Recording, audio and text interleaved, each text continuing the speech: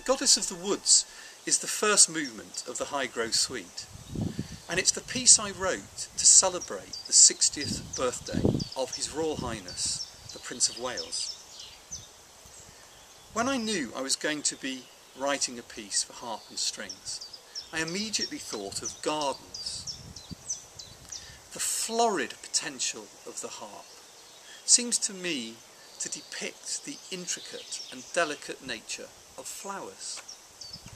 And the rich sound of a string orchestra evokes, probably more than anything else, the romantic pastoral English tradition of Delius and Vaughan Williams.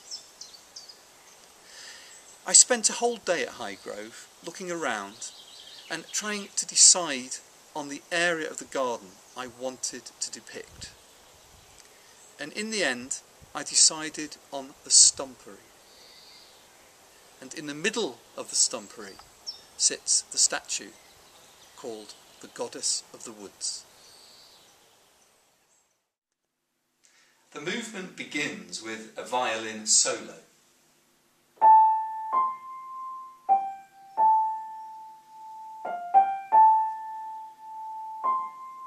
And then the other strings join.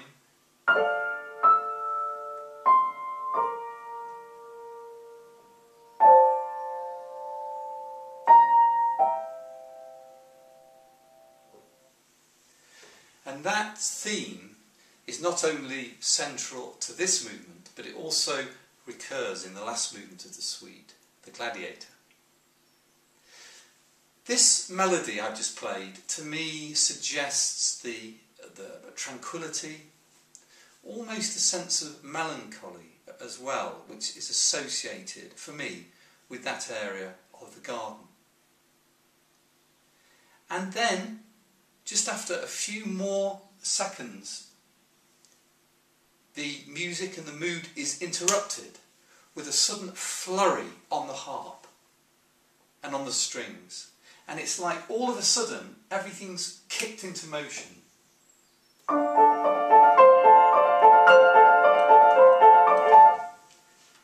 And over that, the melody is developed, and the pizzicato in the strings suggests maybe wood nymphs and sprites and everything that evolves in the imagination in an area of a garden like the Stumpery at Highgrove.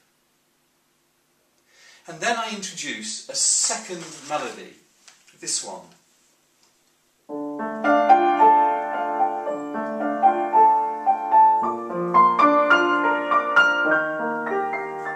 And I suppose what's taking over as a composer is the Englishness of the garden and just the sheer beauty of it. Because there it sits in the middle of this expanse of countryside, which not only reflects the Prince of Wales and his skill as a gardener, but reflects something too of our heritage as, as Englishmen.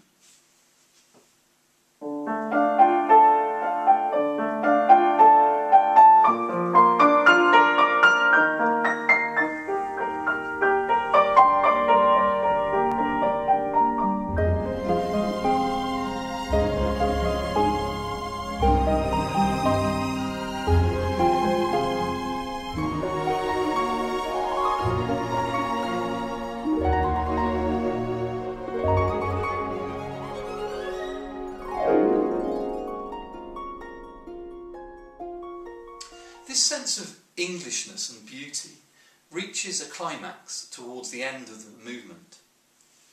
I say climax, but actually um, the mood is very still and peaceful. It's more of a climax in terms of emotion.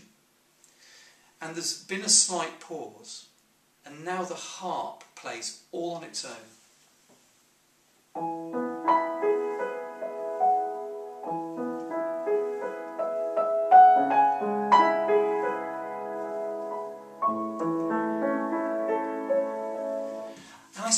Suppose what I'm trying to do here is to indulge in the beauty of the harp and just show how, when it's played simply with broken chord patterns and a clearly defined melody in the right hand, then you've got a sound and a texture which is second to none in the musical world, really. It's almost heavenly.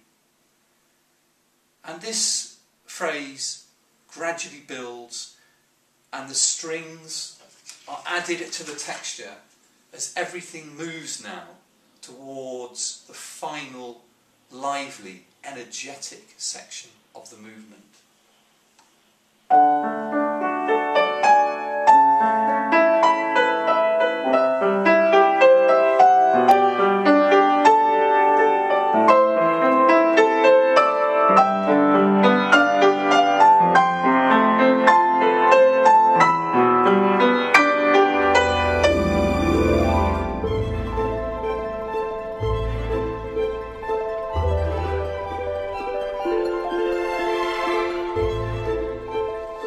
So the goddess of the woods has cast her magic over the whole of the garden at Highgrove. And now it's as if she comes back to rest in the place where we began. And gone from the musical page are all the semiquavers and the busyness of the section we just heard.